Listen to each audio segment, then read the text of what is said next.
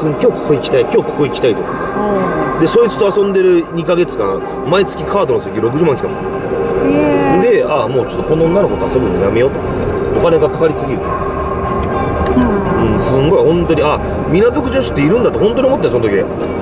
だからもう全部そのわかる見えだからもう飯食うのもさ食わしてくんねえの。ちょっと待って今写真撮るからちょっと待って。あそういうこと？いやいやちょ待てよってなるよね。うん。もういっつもそう。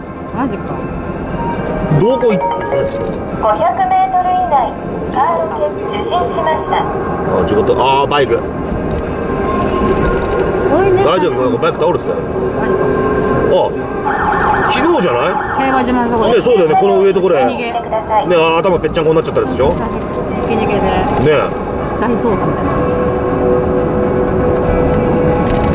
そうだよ。これここだよね。この登ったとこだよね。さ通行ダメでさ通れなくってさ。あそうこれ通行止めだったもんそう超渋滞してんの？いやカンパチもやばかったもん帰る時渋滞で。危ないあれだから車と車があったってことはバイクがね挟まれたってことでしょ。こでもさひき逃げってやばくない？逃げたってことでしょこの辺だろ？この辺だろ。ねえ。まあでもこれ昼間とはいえでもやっぱ一瞬でも車のあれが少なくなる時あるからね。えでもさ絶対捕まんじゃん。バカな。